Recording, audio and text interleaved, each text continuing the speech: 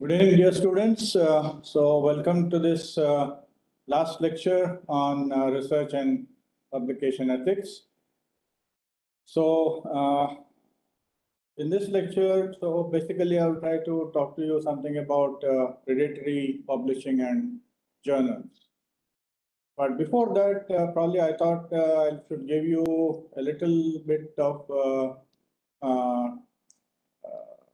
knowledge about how uh, uh, the publication industry actually works so that you can understand the effect of predatory publishing better.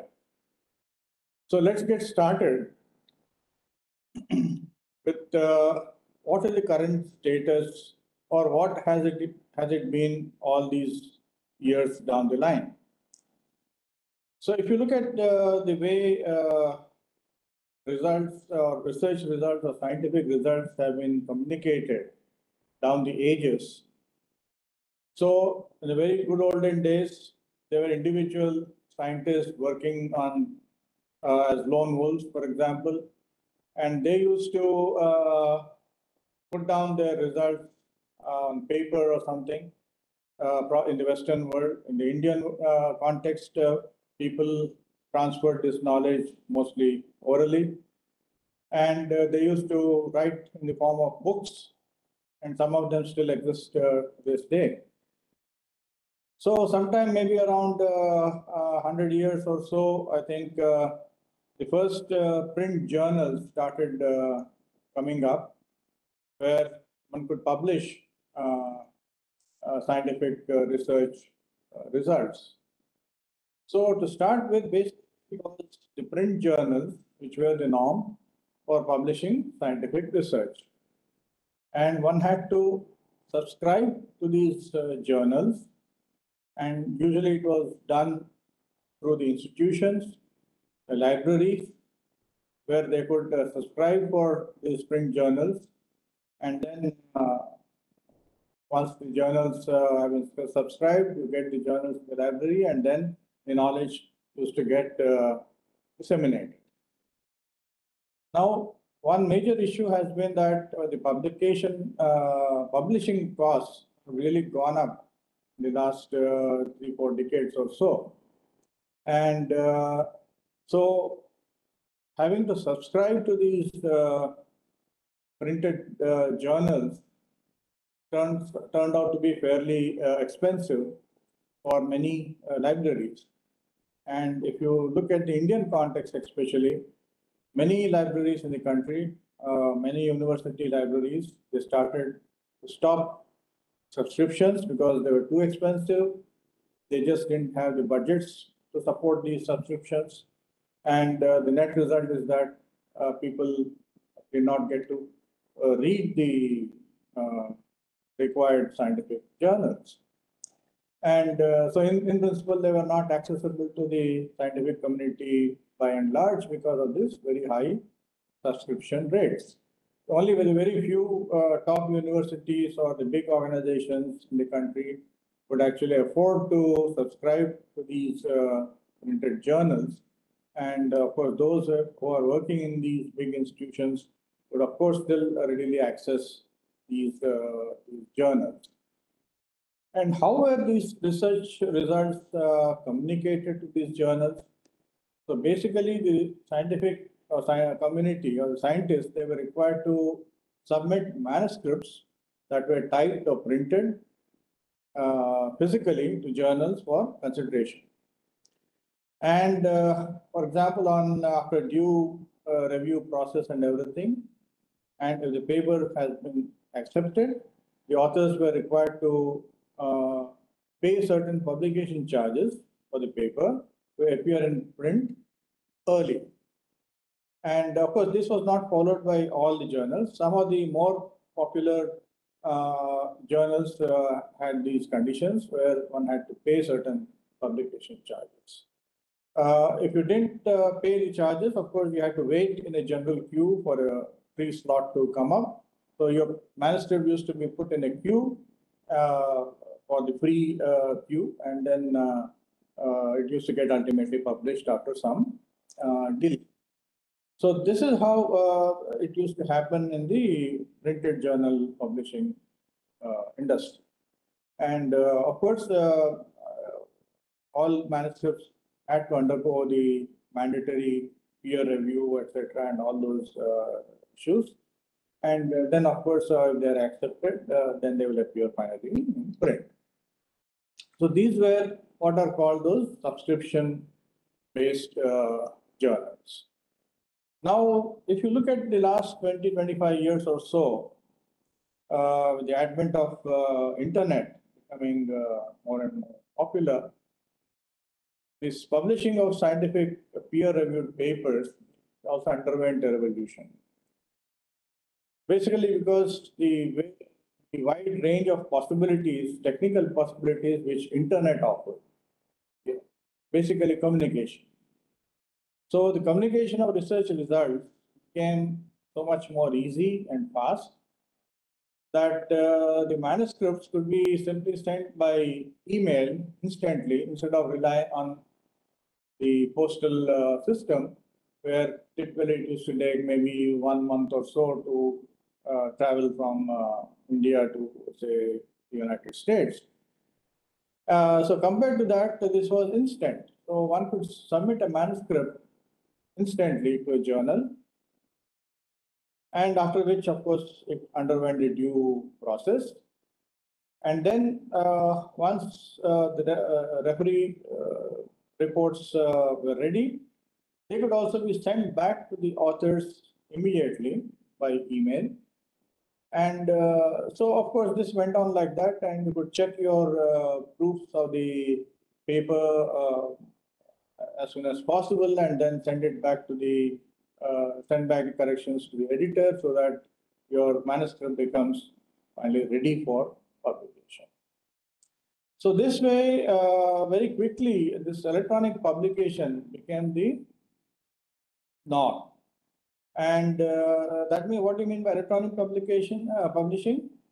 Uh, so most of these journals which were operating in the subscription mode and physical form, they started putting up the, the papers on the internet, on their website. So that is what is meant by, uh, say, the e-journal or electronic journal. Okay. So that became uh, the, the norm and uh, it made things so much uh, easy for uh, scientists to download the, required papers on the journal's websites. But of course, you did also require a subscription to access the internet uh, journals and papers also. So, uh, so this subscription to an e-journal that could enable the scientists or scholars to very easily download published papers on their desktops sitting in their laboratories. So that was a very big revolution which happened uh, sometime, uh, I would say, uh, in the late uh, 90s, uh, early 2000s. This uh, uh, e-journal started becoming. uh, And uh, there was another uh, side to this uh, e-journals because it was mostly now on the internet. The cost involved in maintaining an e-journal was much less compared to, uh, say, a printed uh, form. So this enabled the publishers to experiment with uh, a new model in publishing, wherein anyone with internet facility can actually download and read the papers. And uh, since these articles are open for everyone to download, these are called open access articles. And some, uh, some, the journals which did this, they were called the open access journals. So in an open access journal, all the papers are available for download for everyone on the internet. But then the- where is the catch here? The catch is that, uh, see, how, how, how, how the journals recoup their, uh, money? If- To do this, the funds and resources which were actually required for running these journals, they were recovered from the authors themselves or the institutions to which the authors belong. And readers did not have to pay anything. So that was a very big uh, development which happened uh, sometime in the middle of uh, uh, early 2000. And uh, even after uh, uh, a subscription-based journal uh, brings out an e-journal, one need not subscribe to the journal or the e-journal in case you wish to download, say, one single paper, particular issue. So these subscription-based journals, what they did was they could allow individuals uh, to download individual articles on payment basis.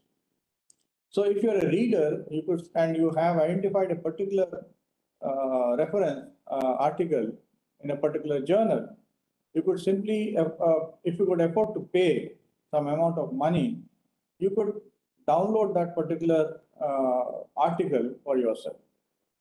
So typically, the cost of download for one particular paper could cost anywhere between say 30 to 60 uh, US uh, dollars.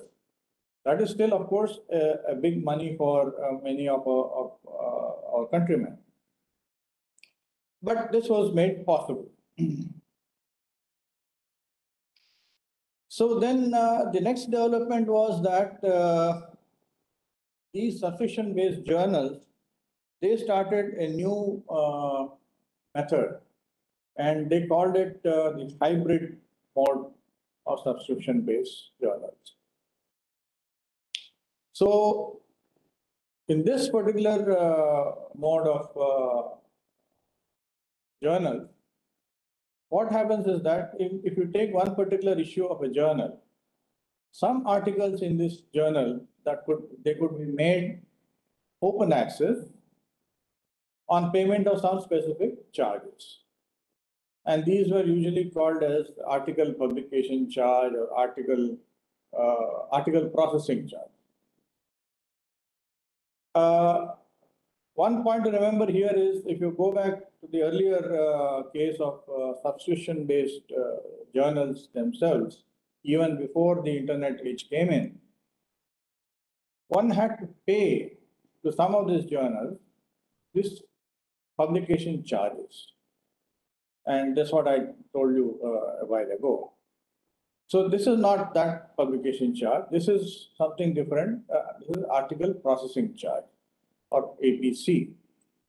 So on payment of this article processing charge, certain uh, papers in a particular issue would be made open access. So uh, if you are a scientist with uh, enough funds with you, one could actually uh, pay this uh, money to the journal and then make your particular paper, provided as an accepted for publication, open access. So that, why do you want to do this? Why do you need to make your uh, paper open access? That is because it will ensure uh, a wider, uh, wider uh, uh, exposure for, for your scientific work to the general uh, readership. And so the funds were usually provided by the author's institution and they were pretty, uh, they are really uh, fairly expensive, I would say. So if you want to make a particular paper open access in a hybrid mode journal, it can cost uh, anywhere from uh, say 3,000 to 5,000 US uh, dollars. So it is that expensive. So what, why do you need to do this? Basically, it's a purchase of extra visibility okay, at a price. And uh, so quite a large number of uh, publishing uh, houses, big publishing houses, they offer this kind of system for the uh, author groups. So, but then you can ask a question, uh, is this hybrid mode fair enough? Are there any ethical problems involved in this uh, hybrid?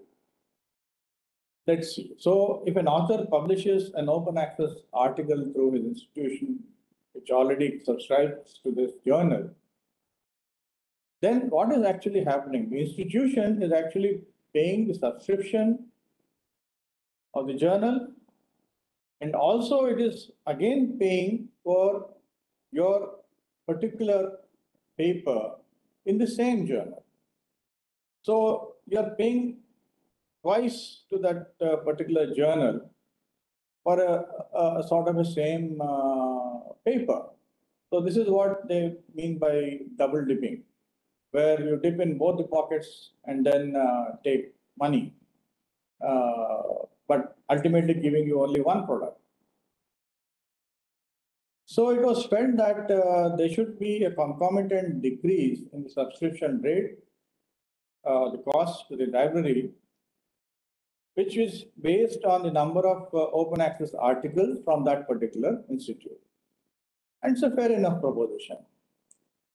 But in reality, whether it has happened or not is not clear. So all these very big uh, publishing houses like Springer or APS or Nature, etc., which uh, espouse this uh, hybrid model, really have not actually reduced their subscription prices. And also, there is not much transparency in this particular regard. There may be transparency, of course, in the other issues like uh, publication procedures and all those things, like uh, review process and. But in this particular aspect, uh, people found that uh, journals are not so forthcoming with their policies. So the net result, uh, what has happened is that, especially in Europe, all the major uh, European funding agencies have actually stopped funding this hybrid model where one can have an open access uh, paper in a subscription based journal. Instead, they have started supporting the open access journal system in totality. So this is one uh, issue uh, which uh, comes to mind, uh, whether it is really, uh, and whether these publishing uh, houses are supporting the scientific community or then, or else making more money out of it. See, if you look at publishing uh, industry mostly these days, this basically is a business model. Okay, it's based on a business model. So profit is the bottom line for many of these big publishing houses, other than those, of course, which have been established by certain societies on a no profit uh, basis, no profit, no loss basis. So most of these big uh, journals like uh, Springer, uh, publishing houses like Springer, Wiley, or APS, etc. So these are all uh, based on uh, certain business model. So they are not going to reduce their profits for your sake. That is going to remain as it is, if not make it more. And the problem again here is that uh, this actually discriminates against countries like India, especially, and other uh, what are called the low income countries or institutions, which do not have very large budgets for their uh, libraries and uh, scholars. So these uh, APCs, the article processing charges, are really too high for uh, such countries and people from such countries. So, of course, these journals, they keep on saying that, uh, look, uh, we do have a waiver policy, uh, provided uh, that they feel a particular manuscript or a paper has enormous scientific value or something and is sure to bring in more impact for their journal, probably in that case, they may still waive these uh, charges and then still go ahead and publish your paper in this open access mode for free. And then again, these uh, charges are not really sensitive to the market. Rather, they are actually closely connected to the perceived value of the publication. So it's all uh, like uh, like fine art, for example, a painting. So who determines how much a painting would cost? So it's a perceived value. Okay.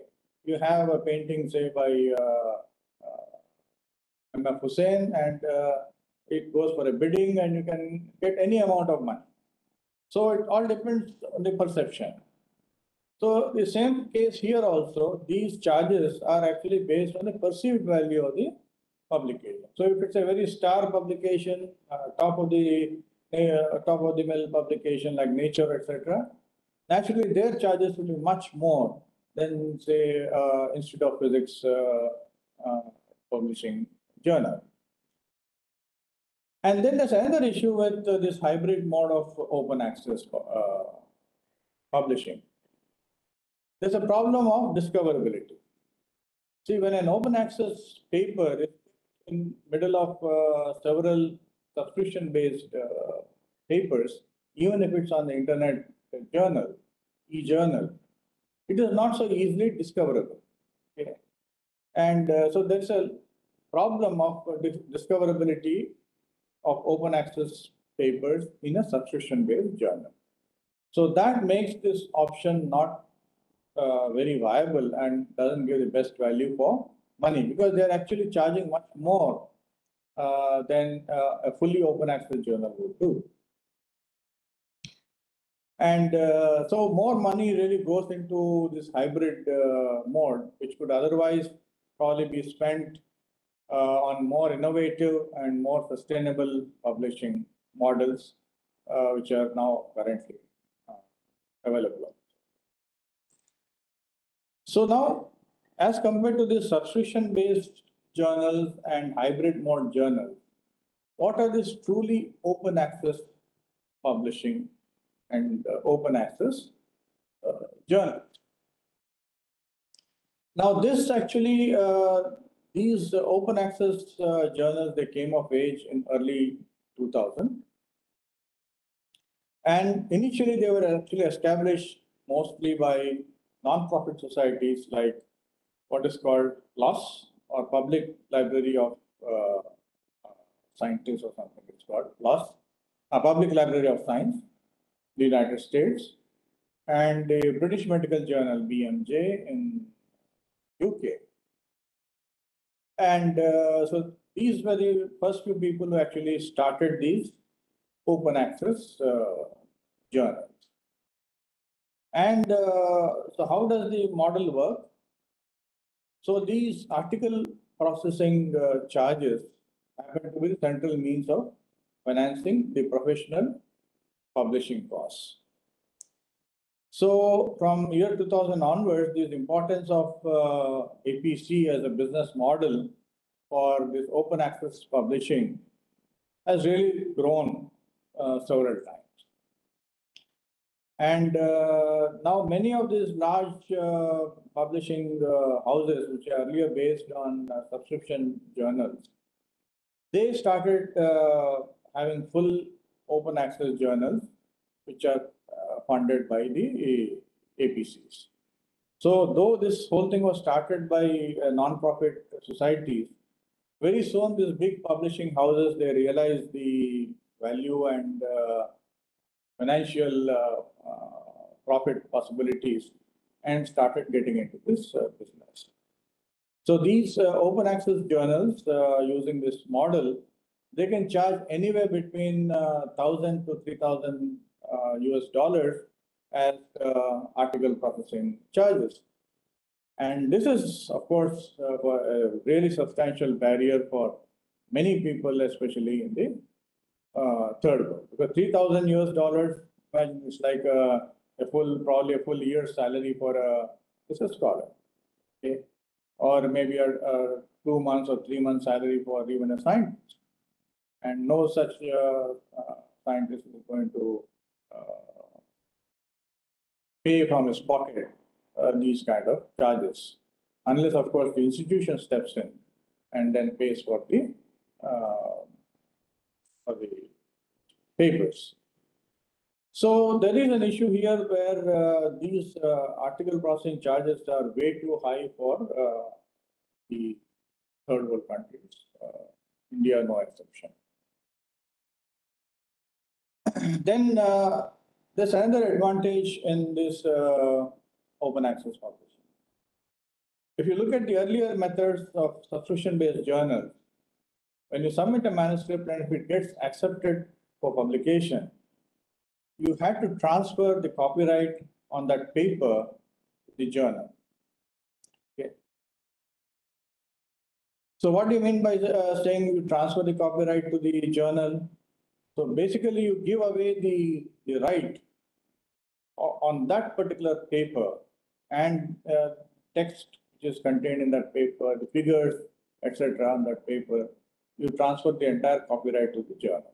So if someone else wants to use those figures uh, or uh, the text part or whatever uh, in some other uh, publication, etc., or probably even the same author would like to use a, figure from that particular paper in another paper which he may be writing, he has to get permission from the publisher before he can do that. Otherwise, he'll be breaching copyright laws. Okay. So that was the model which used to work with the subscription-based journal. So now in the case of open access journals, the copyright for the publication is retained by the author. So this was a very big difference. Of course, you had to pay, you have been you have paid for that, uh, that uh, copyright. Okay.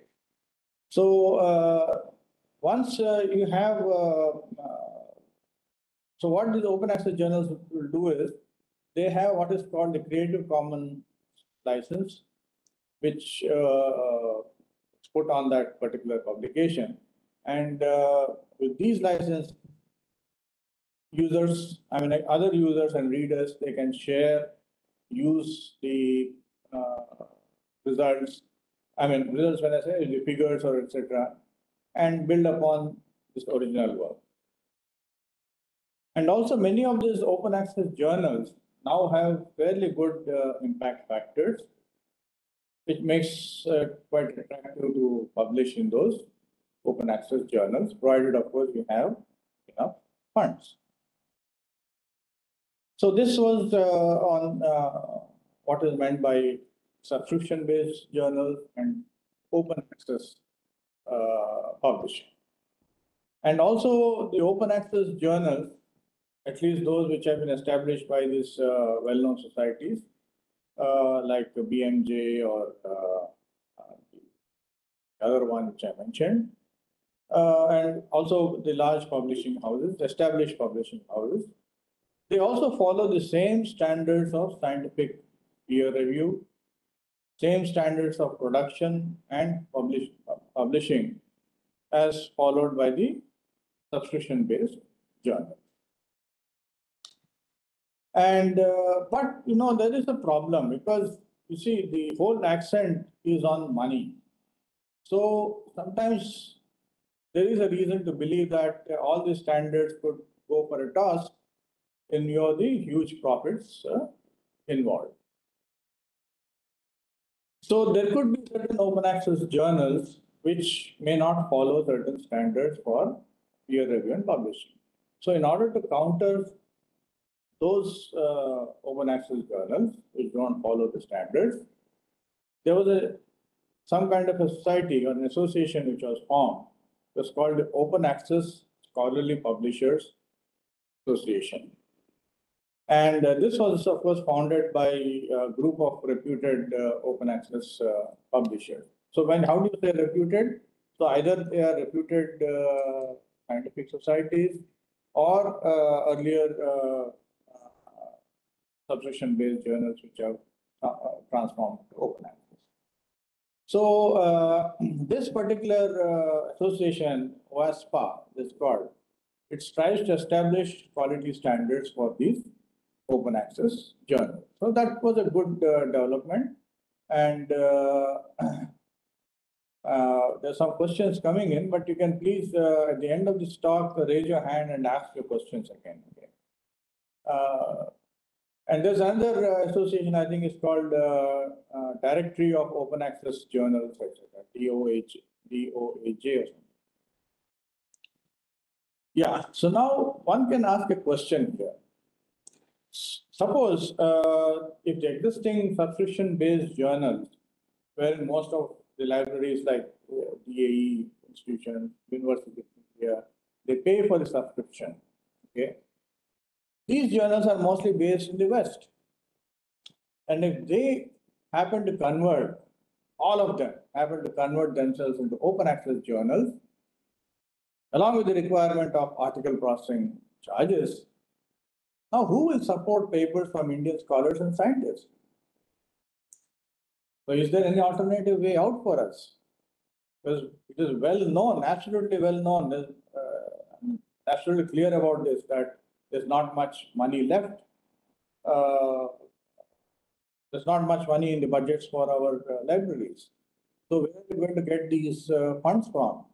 And what will happen when you want to publish your scientific results? Suppose, for example, in physics, you have physical review B.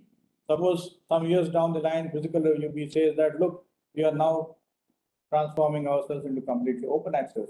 So if you have to publish anything, you pay. So what is the way out? So I ask all of you to think about this. We'll come back to this question probably at the end of the lecture. This is a very important thing. I don't know uh, how many of you have actually already thought, some of you might have already thought about this. So if all present subscription journals transform themselves into open access journals, what will be the way out for our Indian uh, science? Let's see. Okay, so now uh, coming to the next uh, topic was the predatory journals and publishers. So I gave you this uh, introduction to open access publishing, etc., and the history of subscription-based journals in order for you to appreciate what you mean by these predatory journals and publishers. Because most of these predatory journals and publishers also work on the basis of open access system, but in a very devious way. So let's see how it uh, this happens. Okay, so this is something which I got yesterday night in my email. Okay, you can't make head or tail of it, of course, because it's in Chinese, unless, of course, you know how to read Chinese. So I did simply uh, copied uh, block uh, uh, copy pasted it into uh, what is that uh, Google Translate, and what do you see on the right side?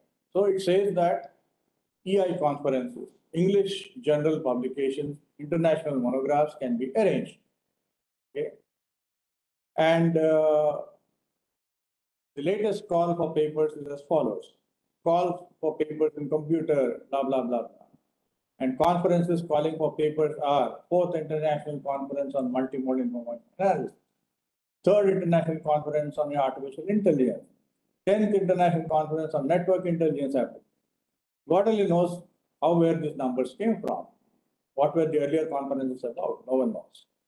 There are less than 20 places left, and deadline is the end of this month. First come, first serve. See, the language itself tells you that, look, this guy is trying to push an advertisement down your throat. Okay. And uh, so this itself is the first indication which should uh, cause some alarm for you that, look, what is this? And I, in fact, I received two, I receive a lot of mails every day.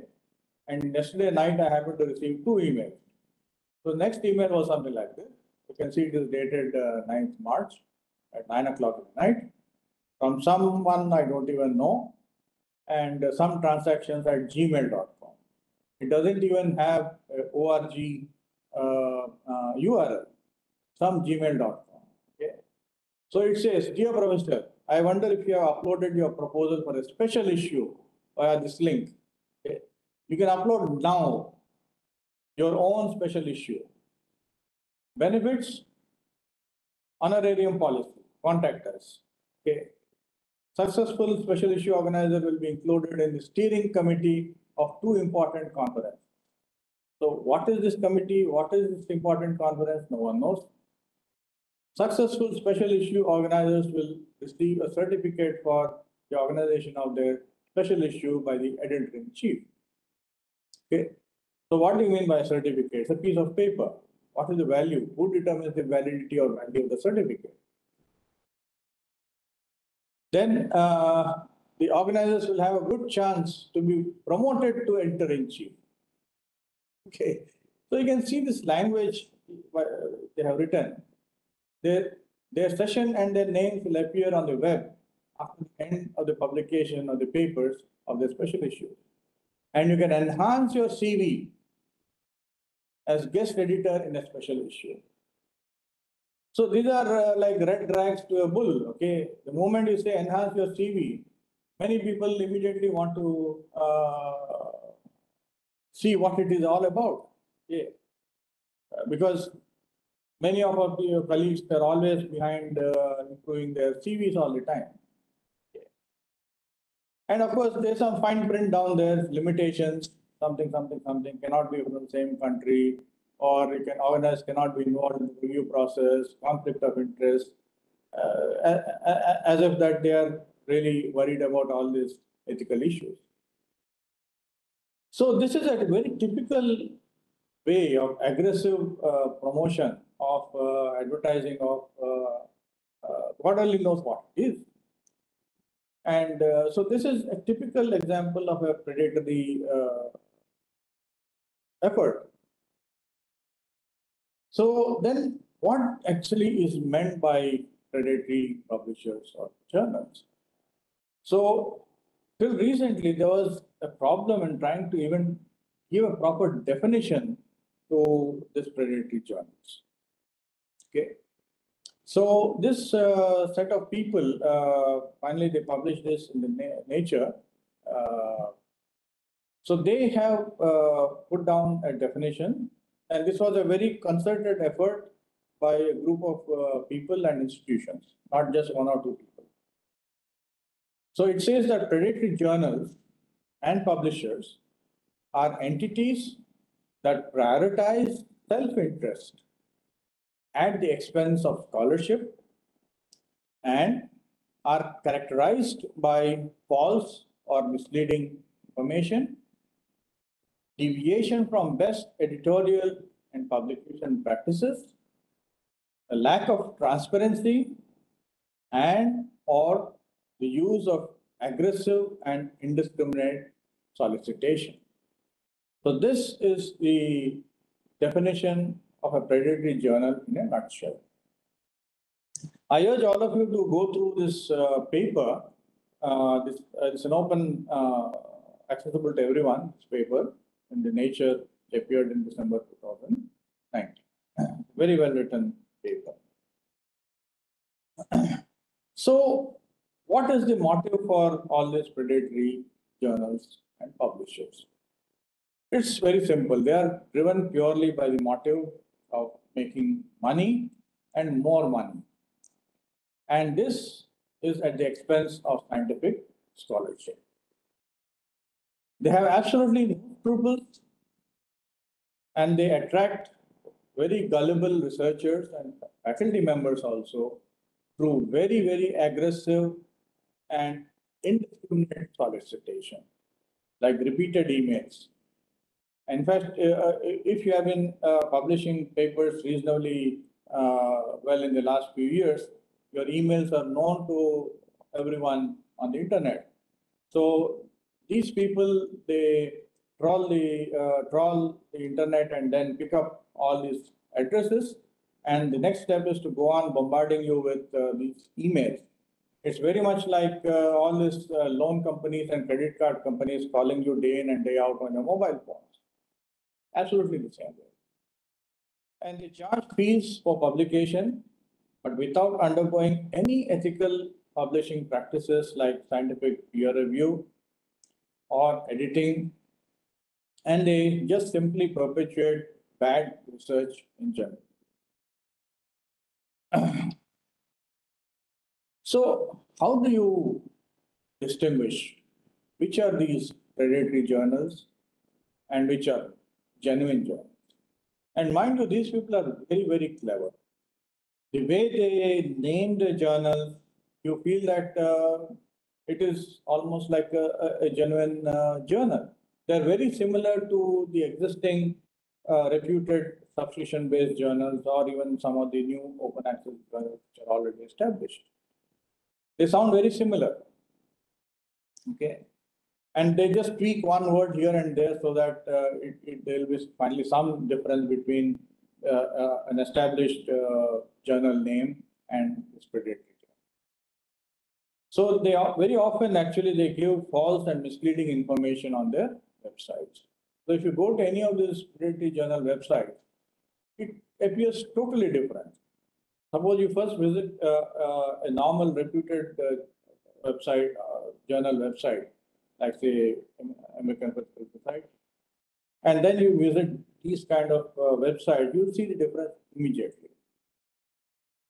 They put up very dubious mission statements. And contact information will be some uh, street somewhere in uh, some God only knows place. Then their impact factors, they also put up impact factors, but they never tell you how they have arrived at those impact factors. Okay. Then they also show that they are members of so and so association, this association, that association, but no proof is given and they're usually false. And then the editorial board members. If you just glance through the names of these board members, you'll wonder who these people are. You just see in, in your own area of research, you go to uh, a reputed journal in your area of research, go to editorial board members list. I'm sure you'll be able to recognize at least two or three or four of those people if you have been working in a particular research area for some time. But if you go and visit these website and look at the editorial board members list, you'll know almost no one there. And their credentials are also will be very subtle. You never, you'll not even know who these people are, where they have come from, whether they are really scientists or not.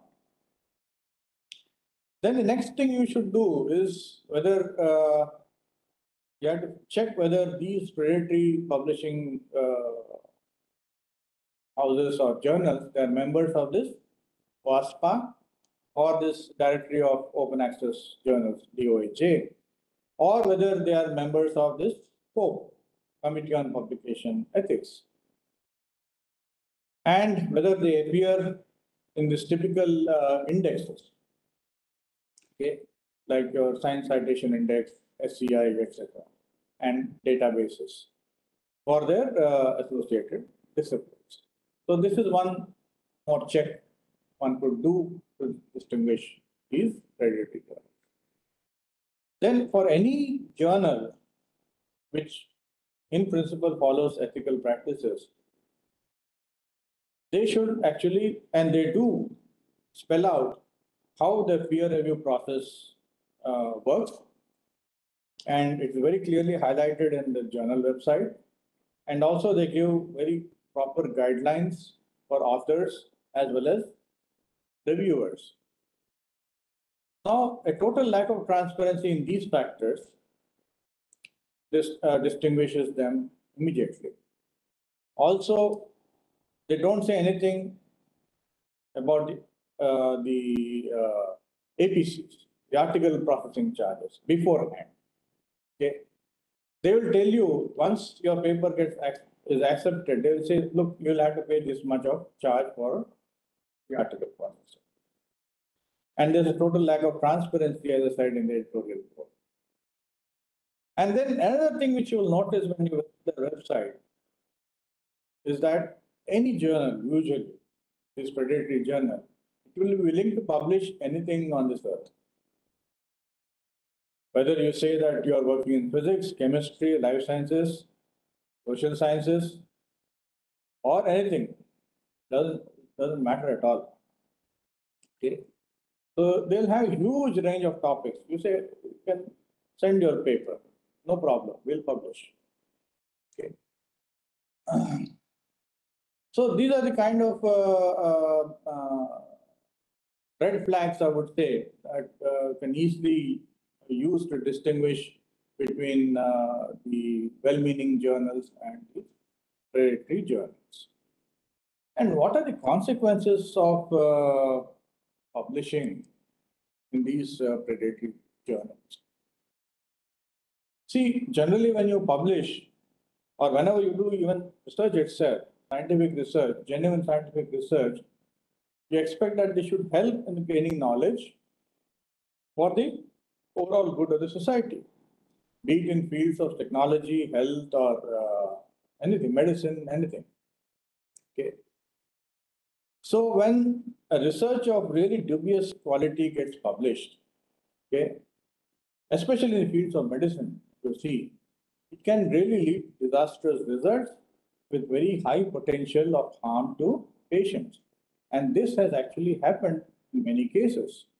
Because when you look at a, a patient, say a, a, a, desperate, desperate patient who is say terminally ill with some disease, he is desperate for cure. And suppose some guy uh, publishes a paper in this predatory journal, okay, saying that yes, we have a cure for this particular disease. You do this, you do this, you take this, you take that. People are willing to believe it because it's a matter of life and death.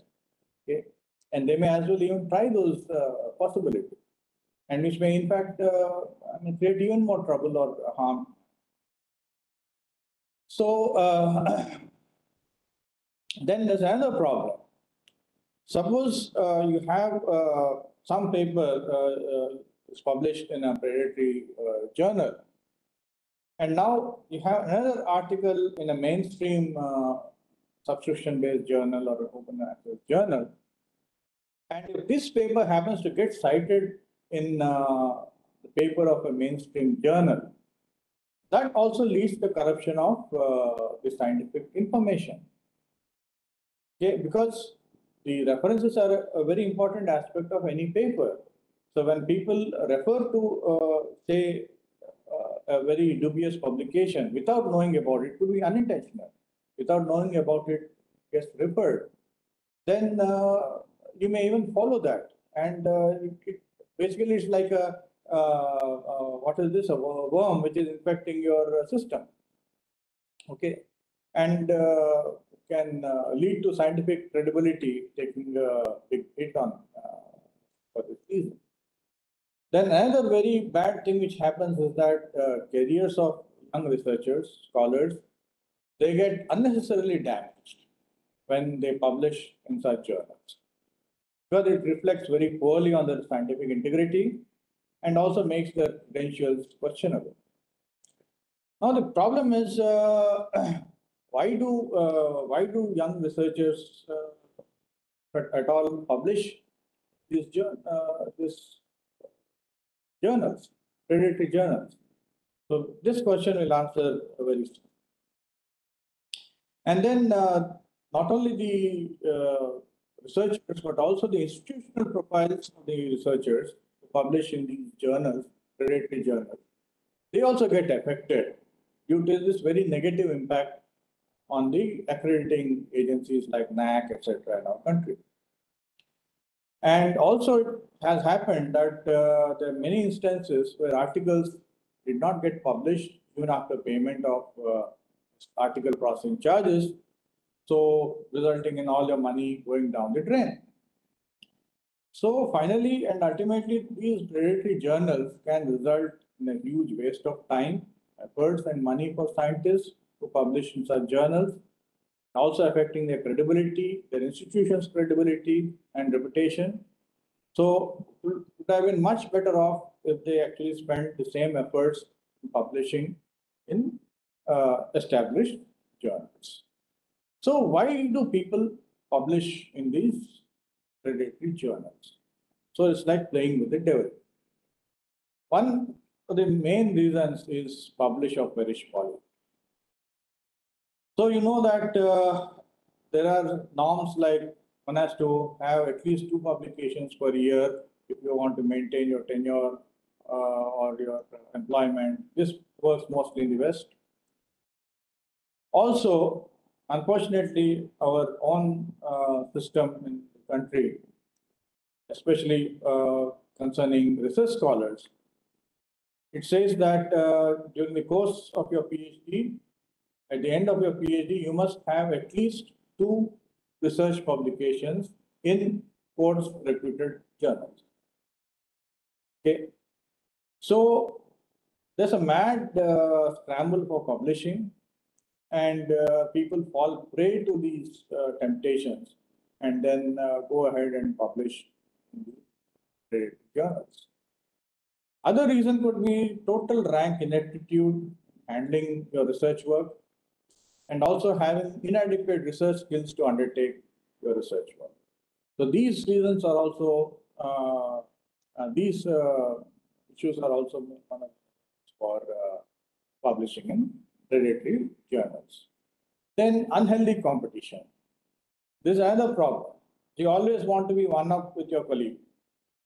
If you colleague has 100 publications, you want to have 101 publications. And if you are unable to do that uh, in a certain uh, given length of time, you resort to this kind of uh, unhealthy, uh, unethical way of publishing. And mind you, these journals uh, offer uh, publishing your paper in say two or three days also, if you give enough money. Suppose you have an interview coming up in say in three days time, and then you realize that you are say one short number, one number short in your number of papers. You can write to any of the journals, pay to them and send a manuscript and get accepted the next day. So your number is made up. Okay.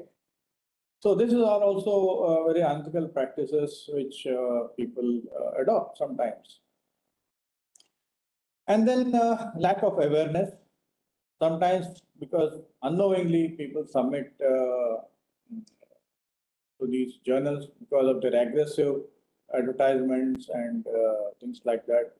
So people sometimes fall prey and then submit their papers and that also happens uh, sometimes. So these are uh, some of the reasons uh, where find that people resort to publishing in predatory journals. And so how do you stop these predatory journals? And one needs really dedicated and sincere efforts uh, to root out this uh, pernicious practice. And it's not a one man's job or one country's job. Several people and countries have to get, I mean, when I say countries, I mean the science bodies in the country, they have to get together in a concerted manner and make efforts to stop this kind of uh, predatory publishing. Mind you, these people are very smart people. Whatever people try to do, they try to go one up on them and try to adapt their uh, systems, etc., to overcome the barriers. So the only way out again is, as I said, creating proper awareness on the practices and tactics of these predators, especially among young research scholars. And this would go a really long way in uh, preventing people from publishing journals. So as I said, the scientific community needs to collectively take up cudgels against the journals and make sure that they get exposed all the time. And if you look at our own Indian initiative in this regard, the University Grants Commission has really undertaken a massive exercise to combat this predatory publishing by establishing this UGC CARE. And it is expected that in the coming years, this UGC uh, care would uh, really help and uh, not only in case of predatory journals, but it will be of big help in other issues, especially for young research scholars and young faculty members on various aspects on scientific integrity and ethics, and also protecting their intellectual property. So uh, I think uh, we now almost come to the end of this uh, lecture series. So what did I do uh, in this uh, course of uh, 10 lectures? I started initially with some introduction to philosophy and ethics. Then I told you something about intellectual honesty and scientific ethics and ethics in scientific research. Then uh, I talked about uh, research integrity, how important it is. Then I also uh, told you about the scientific misconduct like fabrication, falsification, plagiarism, among others. Then the host of other issues like uh, redundant publications, then how scientific misconduct can take place, like selective reporting and data misrepresentation and many other uh, things which happened. I also showed you several case histories uh, which illustrate all these uh, uh, points. Then I also told you about uh, ethical committees which exist for various aspects of maintaining ethics in scientific research. Then I switched over to publication ethics and told you about uh, how important publication ethics are and uh, how do scientific journals uh, also maintain a code of ethics for themselves.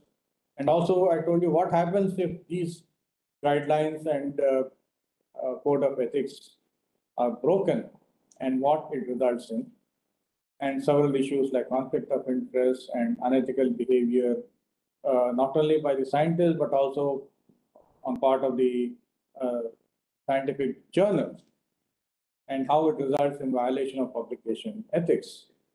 And authorship issues was another big major problem, especially in the context of our country, and how one can uh, do uh, appealing uh, in order to push your manuscript if it has been rejected.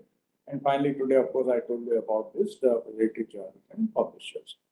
So I think uh, all of you, what I've tried to give you is basically just some essence about all these things, how uh, uh, how do you tackle all these uh, issues, etc. So now the ball is in your court. You will have to go out and find out for yourself and uh, read more and uh, and I hope it will also help you uh, to to be more uh, to be ethical or maintain your uh, ethics in uh, science, science, scientific research now and in future also.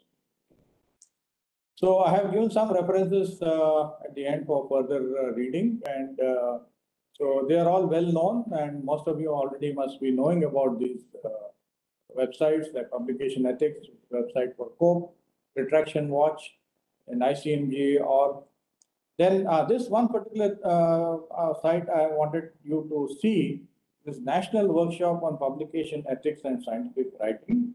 The set of about uh, six or seven lectures which have been put on YouTube by the uh, Ayush Center of Excellence under the Pune University. And uh, one can actually, if you just Google this, you can see this on the YouTube. And there's some very uh, excellent lectures given by some top people, about uh, six or seven lectures on uh, ethics and uh, and science.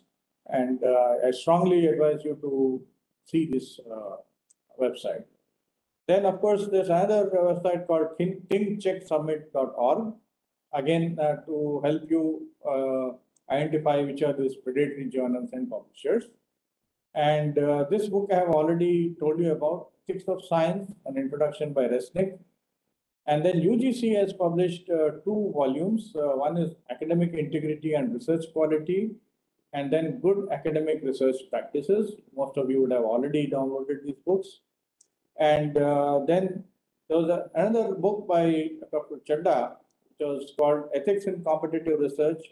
Do not get scooped, do not get plagiarized. And this is also a very good book. I advise you to read this. Uh, I'm sure it is available on. Okay, so thank you very much uh, for uh, uh, having listened to all these uh, lectures so patiently. And now I would like to throw open this uh, session for discussion. And so you can probably show yourself and raise your hands in case you have any questions about any of these uh, 10 lectures. And so I'll be, uh, you can also even unmute yourself if you want, raise your hand and even discuss. Is there any cost involved in the peer review process? Uh, uh, Does the publisher pay? Does the publisher pay? uh,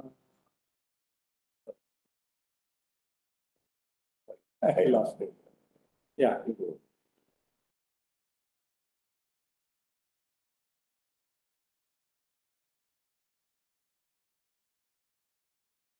Does the publisher pay a reviewer? Uh, Usually, no, publisher doesn't pay reviewer anything. I have reviewed several articles, I don't get anything. And there is no cost involved in this peer review process. Next question. Uh, transfer of copyright for the means only for the paper content or even the IPR? Uh, no, it's not the IPR, it's the paper content. And uh, as of now, on the subscription-based journal, the transfer of copyright is for the paper content.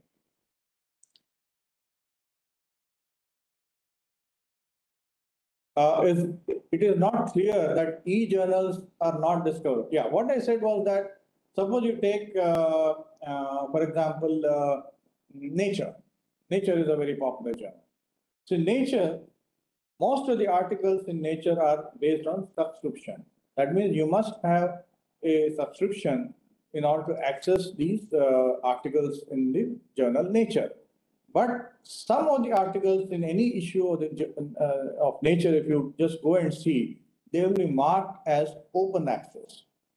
So you will know about this only when you go to that uh, particular uh, issue uh, on the website and then open it and look at the uh, table of contents or something, or uh, even sometimes go to that particular uh, article in order to know that that particular article is open access. So it's not so easily discoverable just like that. There is no advertisement in Google or anywhere saying that this particular article is open access. So unless you go to that site, you will not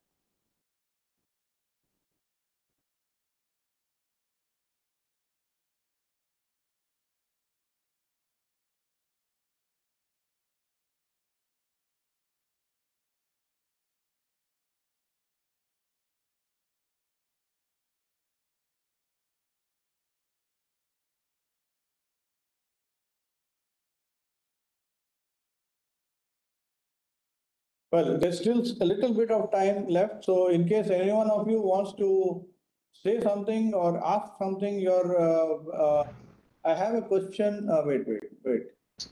Can you please upload all the lectures? I think that's what uh, HBNI is going to do. So you can visit the website and uh, uh, uh, or Anuvidya site and you will have all these lectures available there. I have a question related to Sci-Hub website as it provides the content to users free of charge without having the journals.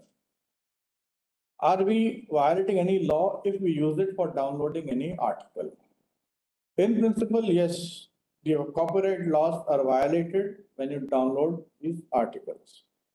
Uh, I specifically didn't say much about this uh, Sci-Hub uh, because it's a rather sensitive uh, issue. Uh, but since you have raised this topic, I'll try to uh, explain this.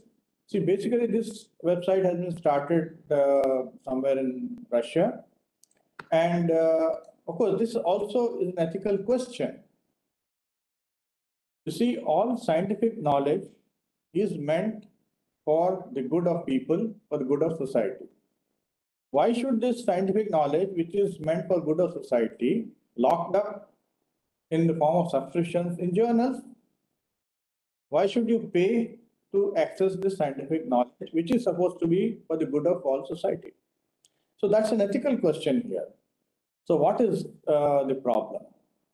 And uh, nobody has any clear answer. And these big journal uh, publishing houses, they in fact, they tried to shut down this, uh, this website, but they have not been successful because the moment they try to shut down one particular site in uh, operating from one uh, region, there are many such sites, mirror sites, which immediately open up.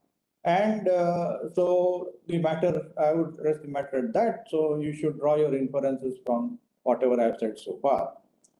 Uh, which journals are more expensive, open access or predatory journals? Definitely open access journals are, are more expensive. Otherwise, predatory journals cannot make any money because if you have to pay the same amount as you do to a predatory journal, you would rather uh, use it for a well-established open access journal. So while open access journal may ask you for $3,000, this guy may say, okay, you pay me uh, $500. And suppose you can even bargain. You say, I don't have $500, I have only $100. They say, okay, fine, you pay me $100. So things can go on to that extent also. So it is something like that. So what are predatory conferences? Yeah. So the first instance which I showed you on this slide today of the Chinese, uh, uh, whatever has been written in Chinese there. So that most probably, of course, I have not bothered to check what it was. It was, it came in yesterday night. And I'm sure it's a predatory conference where they simply say that you'll have to pay this much money and uh, we'll make you editor in chief, we'll make you the in charge of the uh, proceedings and so and so, so and so, so and so. And uh, ultimately, you may find that there is no conference, nothing, and uh, all those things. And you, your name may still appear in some website somewhere saying that you are the editor or whatever, but then it has absolutely no meaning. So these are those predatory conferences. And there are many such conferences which are appearing all over the world now. It's simply, you have to just go through the, the, the, the conference advisory board and you can immediately see. See, suppose a, a, conference is uh, supposed to be on, say, uh, say superconductivity, okay? And if it's an international conference on superconductivity, I'm sure at least two or three big names in, in, in superconductivity must be there in the International Advisory Board of that conference. If you find all unknown names, it should immediately uh, ring a bell in your in, in, your brain that look, there's something wrong with this uh, conference. Okay, so it's very clear on that. I asked you one question in the course of the lecture. I said if all the print uh, journals, uh, subscription-based journals, they actually turn open access, what will happen to our Indian science and Indian journals? Can anyone uh, uh probably uh, raise their hands or something and then uh, answer this question?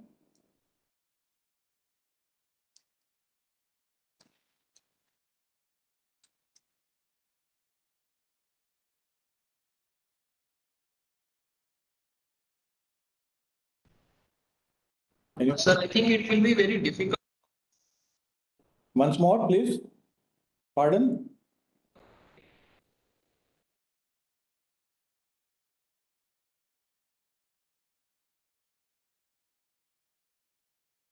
Can you unmute yourself and then say it again, please?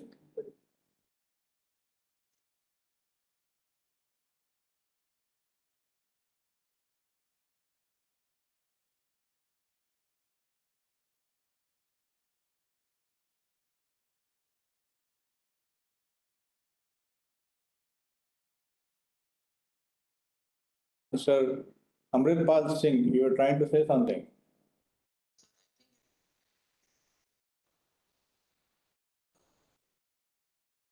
Anyone else? Would like to answer that question? If all subscription-based journals turn into open access and you're required to pay money, what will you do? What is your suggestion? Yeah, Sumit Kochar. That uh, appears to be a hypothetical situation because if all of them turn to an open access uh, journal, the market will be closed. I mean, uh, publication would uh, stop cease actually, and then uh, the entire business will go down. Not necessarily. Their entire business is based in the West.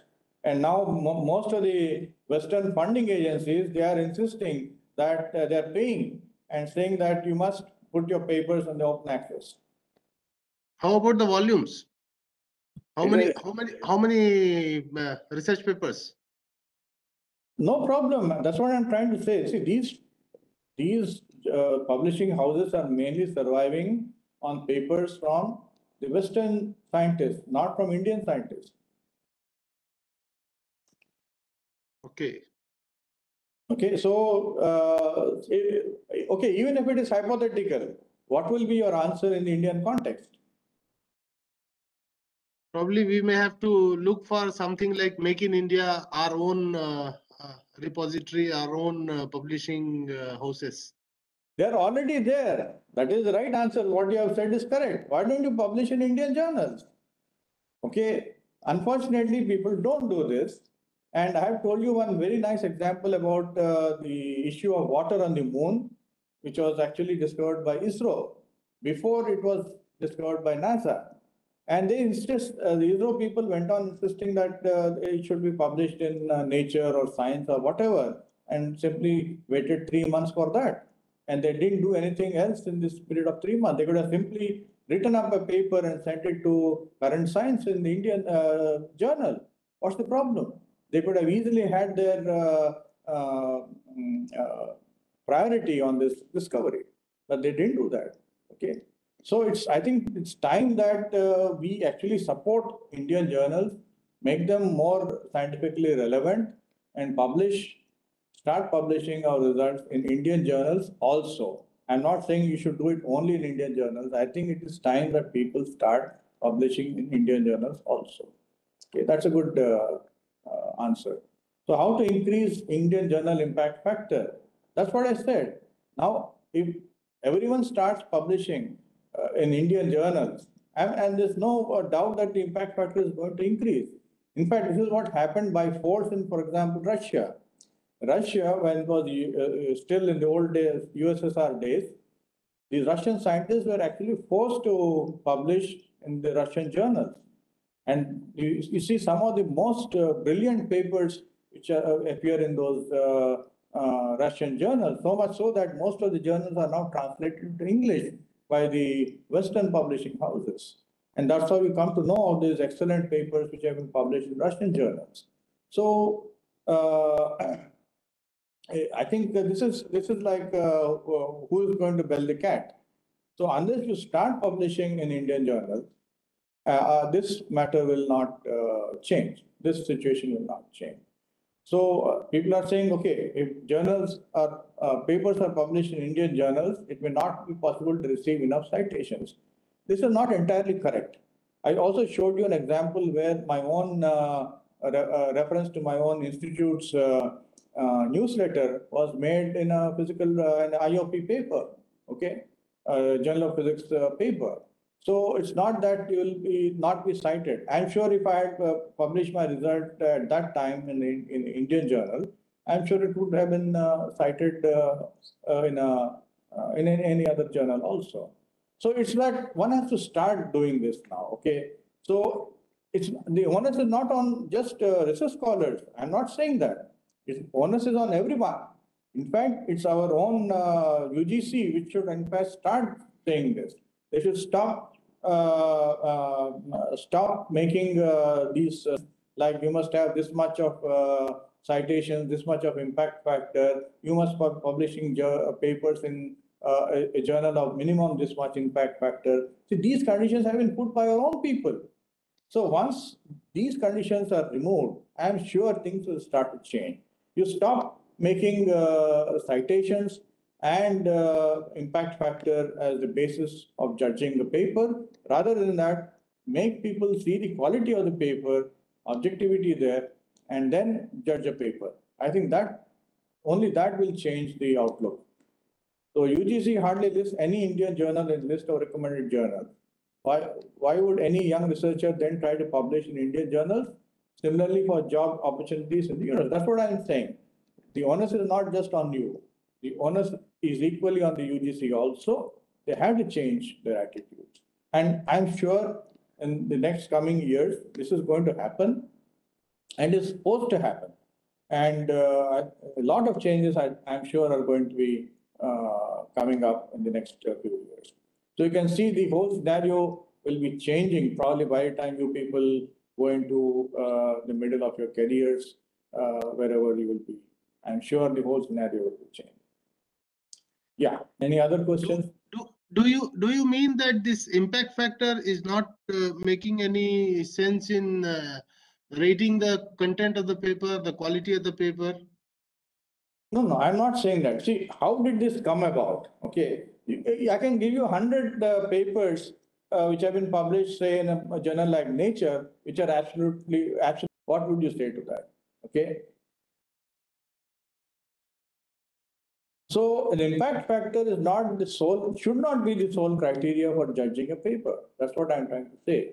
There are papers in very good journals like Nature or Science or whatever, which are absolute, and they got through somehow, whatever way, whichever way, uh, well, unethical or not, I don't know but they have gone through and uh, there's many papers in Nature and things like that, and many have been retracted also. Okay, and uh, they're just so. What did you say to that? Okay, so what I'm trying to uh, impress upon you is that impact factor is good, yes, at the moment. But I'm sure it's not going to be in the future. It is going to change.